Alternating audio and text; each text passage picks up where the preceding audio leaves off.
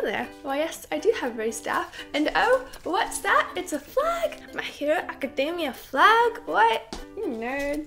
That's not the point of the video. Today we're talking about teeth braces, Invisalign, pain.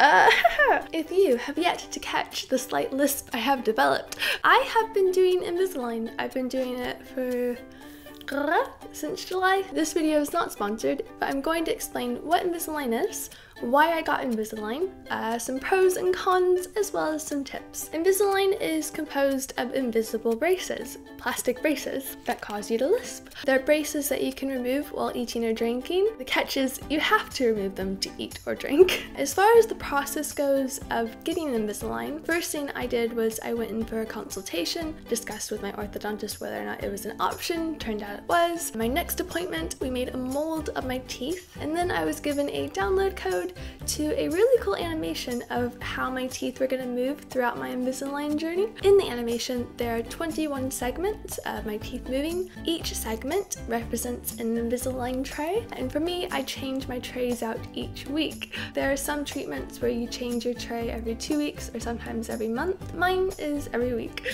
After the mold is made of your teeth and that is sent off, it actually takes about a month before you can actually start the treatment, and you are given this set of packaged trays. Uh, yeah, so here are the trays in the bag and each week I switch to a new tray set. I'll show you what the trays look like. I'm going to show you a new tray, one that's not been used. uh, yes, so this is a new set of my Invisalign trays. I'll be moving to these next week. Currently, I'm on week 12 teeth are getting better, uh, but I have, again, 21 weeks total so far. Excuse me while I take my hair out. Uh, yes, that's the basics of Invisalign. As to why I decided to do Invisalign, there are quite a few reasons. One, I did have overcrowding on my bottom teeth, Two, I was noticing that my top tooth was actually starting to twist. And the most important reason for me was I have TMJ and my TMJ is caused by an overbite. And so I have handy dandy rubber bands that I am currently not wearing because they make me lisp a lot more. But on my top set of Invisalign, I have little hooks to hook them into. If you don't know what TMJ syndrome is, uh, basically, when you overwork the muscle and joints in your jaw, it can lead to your jaw locking up and not functioning properly. And because of my overbite in my adolescent years, uh, I started grinding my teeth in my sleep and also clenching during the day. And it's not something that I was conscious that I was doing. And I remember the day that I actually fully got the syndrome because that's the day my jaw actually locked up. And it took me three or four hours of like trying to open it until it finally went. And then when it went, that's when my jaw popped out of socket a little bit. You can't notice it too much if I talk, uh, but if I point it out, you can. Uh, yeah, so I would get lockjaw from then on out. And since I've started doing Invisalign and getting my overbite corrected, I've stopped grinding. I've stopped clenching and my TMJ has gotten better. TMJ syndrome is caused by a multitude of things, so although it's helped my personal TMJ, it, that's not to say it'll help someone else's if it's a different case scenario. So my choice to do Invisalign was 50% cosmetic and 50% I probably really need this. Uh, yeah, but now I will tell you my pros and my cons. I'm not gonna lie, my cons list is longer than the pros. My first two weeks of Invisalign I thought I had made the biggest mistake of my life. When I first went in for my appointment, I did not realize that attachments were a thing because in all the advertisements, you see this nice little sheet of plastic over perfect teeth, and that's what Invisalign looks like. And here are some pictures from the web, and I will show you on my teeth real quick. You get attachments on your teeth, little dots, little spiky things. Uh, yeah, and I wasn't expecting to get attachments on my front teeth. Uh, so I was like, is this gonna be an issue? Probably. In addition to getting attachments, they also file in between your teeth. First week of Invisalign, I felt like someone had punched me in the face. Eventually you'll get to a point where it is just like a little bit of pressure on your teeth or something, but the initial bit, I didn't want to have to take them out to eat. Your teeth are so sore that you can't really chew food. To this day, I can't eat cucumbers. They're too hard for me to chew. You can't really eat crisp or anything that's too hard or that you have to use your teeth to like break it off. Candy is really difficult to eat and I wouldn't recommend it. And these are all while your trays are out. um, when your trays are in, you can only have cold water. Also, the attachments, if you do have them on your teeth, stain really easily. So it makes it difficult to have things like coffees or teas, which makes me sad, as well as alcohol, which I'm not that fussed about because I don't drink. So that one's fine. You do have to wear them 22 hours a day at least, but you also have to calculate the time it takes to take them out and to put them back in. Each time you put them back in, you have to brush your teeth with toothpaste. My toothbrush has a stormtrooper on it. Cool. You also have to wash off your retainers. You have to floss. I use mouthwash too. And that's every time you eat or drink anything without your trays in. So in addition to it being actually quite painful to take the trays out and put them back in, it's a bit of a process and to even put them back in. As fun as it is to brush your teeth all the time, it's not, it's really not. The levels of pain for Invisalign I've heard differ for different people. For me, since it's quite a quick treatment, in addition to me having a load of attachments, I will say that mine's been more on the painful side. Uh, yeah, no, that first week I thought I'd made a mistake because I had all of these attachments all over my teeth.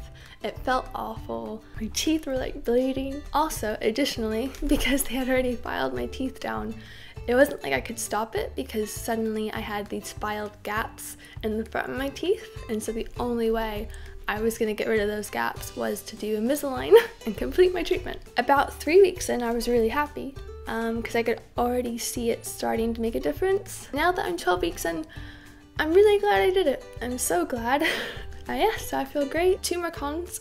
you will develop a little bit of a lisp. It's hard not to. And lastly, it's expensive. now I don't have many tips from Invisalign, but I do have some tips. My main one is a mini crochet hook. This is the tiniest crochet hook I could find. It's kind of hard to get the trays off your teeth because of the attachments and the fact that they're so well formed to your teeth and they're pushing against your teeth. So I researched and saw online that they had these tray removers uh, and they just look like little hooks and they cost a ton of money. So I had thought to use a crochet hook. I got this for a pound. And the nice thing about it is it's got a nice little rounded tip as well as a nice little rounded So that is my number one recommendation if you do have Invisalign and have a difficult time getting your trays out. You do want a brush that is separate from your actual brush that you put toothpaste on. Toothpaste isn't good for the trays, neither is mouthwash. By the end of the week, they get gross. so I got these cleaning tablets for them and I love them. It's kind of stuff you use for dentures, so I feel a bit like an old lady, but it's fine. But this tablet looks like this. You dissolve it in water, you put your trays in the water, and let it clean itself for 30 minutes. It helps the tray from getting too much bacteria built up on it, and it kind of keeps them from spilling. Next tip, have lots of chapstick. Lots and lots of chapstick. With the Invisalign, you can't wear lipstick anymore. You can get a chapstick that has like a pearl effect. Also like the raspberry rose one. Raspberry rose. Last, last, last tip of the day. Your trays are sharp. They're very sharp. So a lot of people recommend using a nail filer to softly make the edges a little more gentle. But you know me, I always go that one step extra and I have an electric manicure kit. Manicure kit here.